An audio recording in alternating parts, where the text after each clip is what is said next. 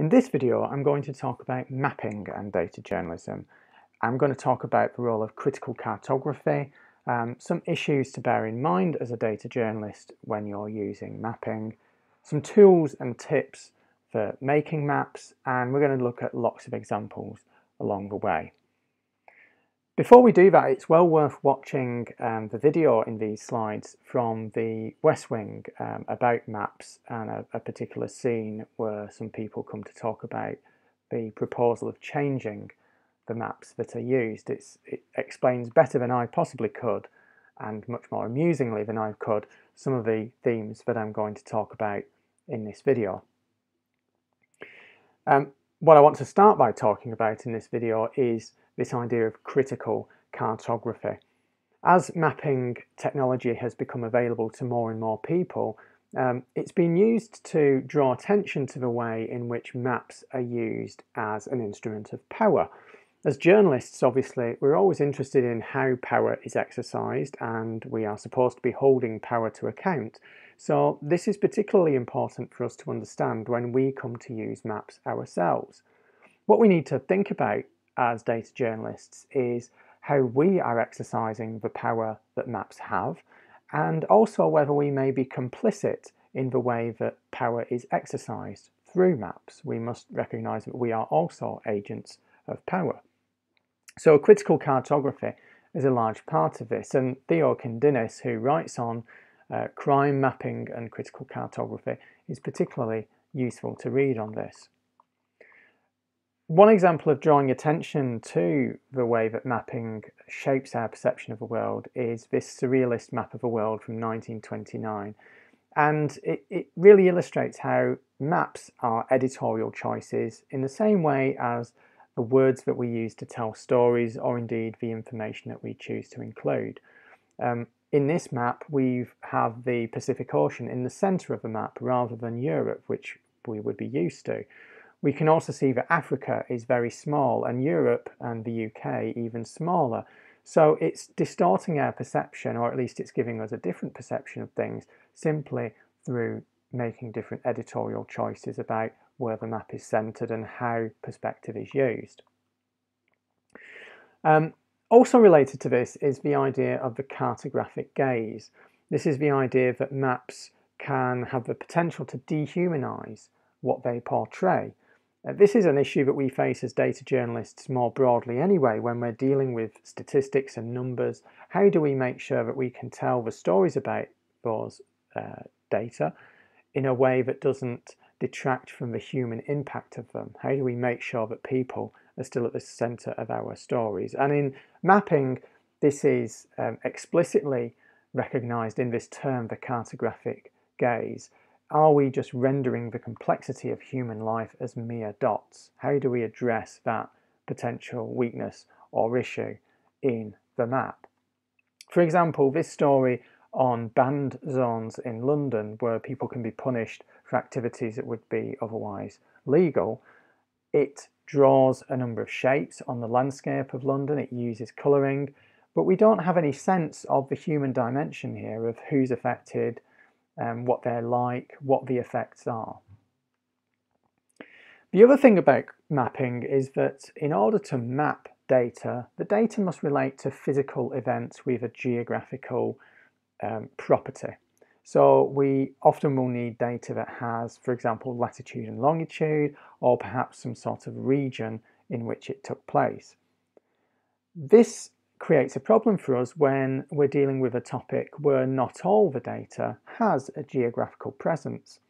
Crime is a particularly good example of this because some types of crime don't have a physical space. Cybercrime is perhaps a very obvious example, but also financial crime, fraud, and other types of crime often don't have a specific physical space. So when we map crime, what we're actually doing is mapping a certain dimension of crime, a certain type of crime, and we're, we're leaving out other types of crime. So we risk misrepresenting the nature of the issue that we're trying to tell a story about. Now, crime is just a particularly good example, but obviously other topics will have the same potential weaknesses. So if you are mapping any sort of issue, it's always worth considering what information is missing from this? What events may not have a geographical point, or at least one that's recorded? Um, the other thing to consider is the nature of geography. This is um, a, a, really interesting project which is well worth exploring um, independently. It's called Stories Behind a Line and it's about the routes that immigrants have taken to um, get into Europe. And it focuses on a handful of stories, so it's trying to move away from the big numbers, the abstract uh, figures, and to tell a more specific human story. But I think there are a number of issues with this which really illustrate some of the potential dangers in mapping. One uh, issue, for example, is that there are no images of the people involved, and that there are probably very good reasons for that, but it also causes a problem in terms of humanizing these people. It's presented very elegantly, very simply, very stripped back, which is very effective in an aesthetic sense, and it did draw a lot of attention to it as a piece of art. And it's important to emphasize that this is a piece of art, it's not a piece of journalism. But one thing that the lines in this map draw attention to, or at least make me think about as a journalist, is actually these lines hide the complexity and variety of the journeys involved. Walking across a part of Africa is very different to taking a train across Italy, for example. So the different parts of this journey are not all equal. It takes a lot longer to make one journey, it might be more dangerous, it might be more difficult than a different part of the journey. And that's something we should always consider in the way that we treat maps. Not all spaces are the same, but maps can have that effect. The other thing about maps is obviously they can be misused. There are a couple of examples here of maps being used as propaganda or um, to spread fake information. The image on the left, for example, was a, a, map that was being widely circulated in Germany a few years ago about refugee crime.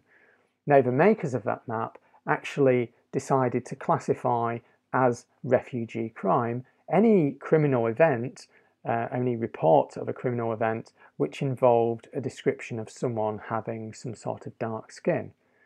Now, some of those crimes involved the person with darker skin actually was the victim rather than the perpetrator, but they still counted that. There was no record in the data about whether the person was a refugee or an immigrant or anything else for that matter. Um, this was just a massive assumption made by the creators of the map. So they can be misused in many ways, and, and the classification of data is a key part of that. And it's one thing we need to be cautious of and watch out for as journalists as these tools are obviously accessible to many, many more people. Let's move on to those tools now then and the process of making maps. Broadly speaking, there are two reasons why you should be making a map as a journalist. The first reason is that you want to show some sort of distribution. The map serves the purpose of showing clusters, of showing variation, postcode lotteries that we've discussed before, so um, different parts of a country having different access to certain um, services, for example, or they might simply show the state of a nation in some way. Uh, the second way that we might um, choose to use a map is to allow the user to explore space. So the most common example would be to put things on a map and allow people to explore events near me. A common example would be food hygiene inspections. We can put food hygiene inspections on a map and the reader then can choose to look at restaurants near where they live and their um, inspections or restaurants that they visited in the past. It allows people to create a more personal story. There are a number of different types of maps to consider as well. The most common and the ones that you have probably seen are the choropleth map and the dot density map. A dot density map simply places a dot on a map for every event. So if we were dealing with crime, we would have a dot for every crime that occurred, placed at the um, location where that crime took place. A choropleth map deals more with aggregate figures. So um, in this case, it would be the uh, number of events in a particular region. That region could be a constituency or a police authority or a health authority or some other administrative body where they have a particular border that they operate within. So all of these are obviously US states and in the choropleth map we have each US state coloured in a different intensity depending on the value that it represents. So that could be the number of crimes, it could be the amount of pollution that's created, it could be the number of people with a particular disease or on a waiting list, and so on. That's the choropleth map. Some other types here as well to consider though include the proportional symbol map. Um, this is where instead of placing multiple dots we might place one dot on one space and then size it based on a value. So Again, using crime as an example, there were 17 crimes at this location, so we're going to have a, a dot or a, a circle or a square that's sized proportionally to that number. Sometimes it's placed in the capital or central point of a region, so it could represent the whole region, and, and that can be a little bit misleading in that case, and I would probably recommend a choropleth map instead if that's the case. A cartogram uh, actually sizes areas based on a, on a value. So instead of leaving the area as the size as it is in geography, we change the size of that area, we shrink it or enlarge it based on a particular value. So in, initially, essentially, this is like a choropleth, but instead of using colour to indicate um, the, the size of a value, we're using size, relative size. A density map is like a dot density map, but instead of showing the um, individual points, we just show a kind of a, a, a blurry point. So It's often called a heat map. And the reason for this is that sometimes we, we might want to want, show density, but we don't want to be able to, we don't want to show the specific locations. Uh, for example, where privacy is an issue there was a, a case a few years ago where someone made a map of gun permits and um, the intention of the story was to communicate um, where people tended to uh, own guns in a city. The problem with this was that it was very specific. You could see the specific locations of those owners of guns, and people took uh, issue with this for a number of reasons. But that specificity wasn't required. We didn't need to know the specific locations of those gun owners. We just needed to know the density. So a heat map, a density map, is a way of doing that without showing the specific locations. And then we also have flow maps. This is to show routes, um, so the number of journeys taken between two points, for example, or even relationships or financial transactions between two locations. Now, one other map I want to mention as well, which has uh, enjoyed a, a, period of popularity a few years ago, is the hedgehog map. Um, this is essentially the same as a um, the proportional symbol map. So what we're doing here is we're placing a symbol in different locations and we are changing it, uh, a property of that symbol proportional to a particular value. So in other words, the symbol here is an arrow. And the arrow is being placed in different locations and it's being sized based on, in most of these examples, political swing. So the, the change in votes from um, Republican to Democrat or Conservative to Labour and vice versa. So we have colour used to indicate which way the vote swang uh, and we also have um, direction and we have size uh, length to indicate the amount by which it swung. So that's a hedgehog map. And then we can also think about routes. Um, this is not strictly speaking a map. This is a, a, kind of an abstract map essentially. And we're not going to use mapping tools to create them probably. But it's worth mentioning as another form of map to consider, particularly if you're dealing with geography and you're thinking of geography as some sort of vehicle for the story. So in this case, and, and there are similar examples, a route has been picked and used as a, as a vehicle for a story. So we're looking at something, let's say poverty in a city. we're going to pick a route across that city and use that to tell the story of how poverty varies across that city. At the bottom there you can see a line chart which is showing the values as they change across that route, the different parts of the route, the different locations. So that can be quite effective as a way of telling a story as well. Now in terms of tools, there are lots of tools that allow you to create maps. A few that I'm going to mention um, are Data Wrapper and Flourish, which are good introductory tools for creating maps. A lot of them, uh, both of these have uh, maps built in for places like the UK and regions uh, and constituencies, things like that.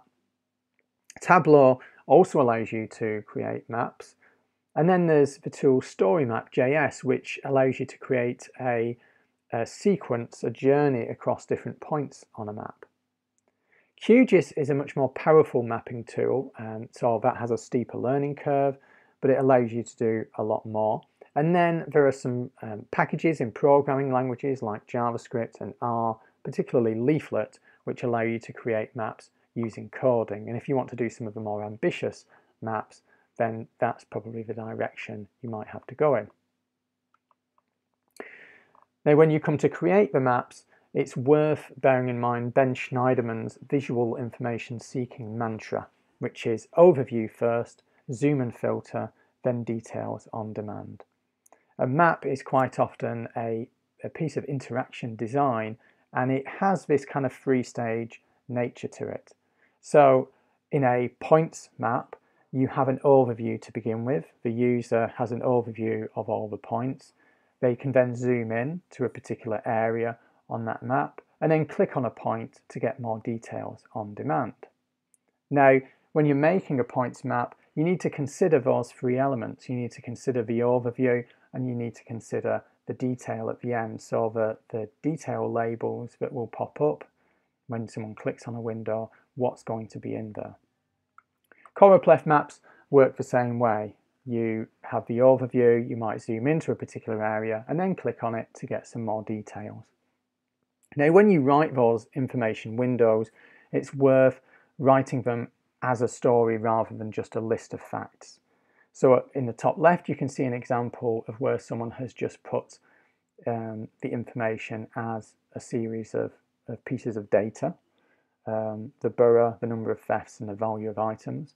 But in the bottom example, you can see where that uh, similar information has been written in, into a more natural sentence. So we've got a number of criminal offences were dealt with by this police force, there were this many violent crimes, and so on.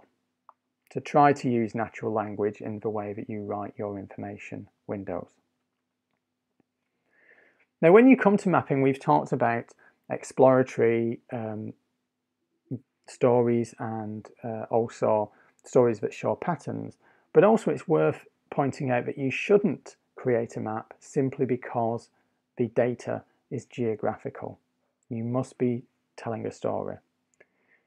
This, for example, is um, a story about very similar data to the Iraq war logs that I showed earlier. So it's the same as this data of um, deaths caused in Iraq but it's not been shown on a map.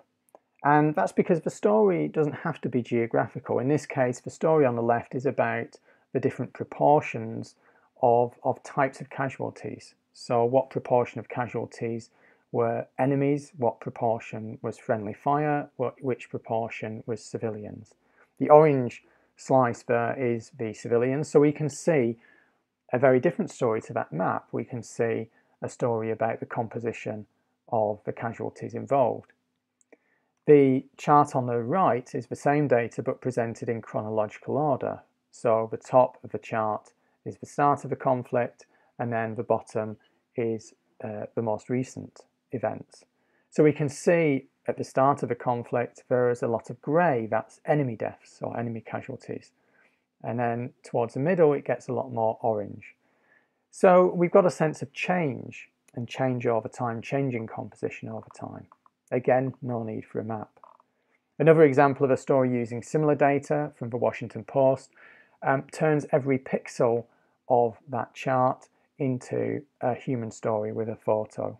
So we get a sense of the scale but it's exploratory and it's trying to humanize the different events represented by that data. Some more examples where journalists have decided not to use a map come from the FT. This is uh, an example on the left of a map that was not used to show um, some issues with banking and, and where banks might move. And um, the chart on the right is what they actually decided to use instead because it much more effectively allowed people to compare who was in which um, cities. And when it comes to the US election, we've talked about um, choropleth maps, but actually a simple table of results has been found to be much more effective in allowing people to find out the results. Now that takes us on to cartograms, and in particular tile grid cartograms, and elections are a great illustration of this. Um, in the upper left is a choropleth map of the US, and it shows how different areas of the US voted in an election. And this map was being widely shared um, last year because people were arguing, look how red the US is. You know, uh, this was obviously shared by Trump supporters who wanted to argue that there was overwhelming support for Donald Trump. And indeed, that map does appear to show an enormous amount of um, Republican voters in the country. The problem is it doesn't show people, it shows space. It shows um, different parts of the country based on the amount of land that those different parts occupy. But an area that's very rural and has very few people is not the same as an area which is metropolitan and where the population is much more dense and more concentrated. And that's the problem with these types of maps, with choropleth maps. If you're trying to show something about people rather than space, then a choropleth map might not be doing that particularly effectively. And the GIF in the lower right corner was one person's illustration of the difference between the two ways of looking at the same data. So the GIF shows a transition from the map, the choropleth map, to um, what would be called a, a cartogram, essentially, where you're sizing areas based on the number of votes or the number of people. And there's been a number of attempts to address this problem. Um, in the upper left, you've got the, if you like, traditional US election map, the US states map, rather, um, where we're seeing states based on the amount of space that they occupy. And then the other three maps are attempts to show the same um, map, if you like, but based on the amount of people or the amount of votes or the amount of electoral college votes, the amount of um, the, the power, if you like, that those states have to elect a president at the end of the election. And so you can see these are very different effects, different uh, attempts, in some cases uh, superimposed on an outline of the US, in some cases trying to position the different um, parts uh, relative to where they would be in the real US. But they much more effectively communicate the real um, number of people, number of votes in those areas.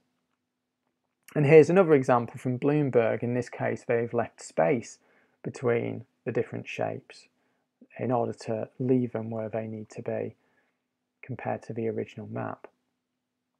In the UK, obviously the same thing has happened. Um, these are tile grid cartograms again. And in this case, we're not looking at, at, tiles based on the number of people exactly, but based on constituencies. So we have the same situation in the UK. Um, when you see election results on election night, if it's on a normal map, then London, which has a lot of people but is very densely populated, actually isn't very easy to see compared to Scotland, which is very um, sparsely populated. These cartograms give a square or a hexagon or a particular shape to each constituency because each constituency returns one MP. So although different constituencies might have different numbers of people, they're broadly similar and also ultimately, even if they do have different numbers of people, they are voting for an MP that gets one vote. So essentially each constituency gets one vote in the House of Commons and that's what this is representing. So we can see that Scotland becomes much smaller because it represents fewer people and has fewer constituencies, likewise Wales, whereas London becomes much larger on this map because London has more people than Scotland, for example. It's well worth watching this video by Vox, which is again in the slides, which explains this issue in more detail as well. So just to draw up the key points, the first thing to remember when you're mapping any data is that the map is not the same as the territory. It is always going to be an editorial decision about a representation of a form of reality. So that means that um, the choice of, of, the projection of the map, for example, has an influence. Um, the uh, choice of whether you use a choropleth map or a points map or a different type of map, that will be an editorial decision that will affect the story that you tell and how accurately it represents the facts. Also, don't map just because data is geographical. Use a map because you're trying to tell a story about clustering or you're trying to allow people to explore information and actually a map does that very well. There are lots of examples where sometimes a map isn't the most effective way to tell the story that you're trying to tell. And finally, always consider what is not geographical, what doesn't have a physical space when you're using maps, what is invisible from the story and perhaps should be in that story. If you want to explore this further, in the repo on GitHub, um, you'll find a number of different guides and tutorials to creating maps in both DataWrapper and Flourish. Um, so have a play with those and I'll see you in class.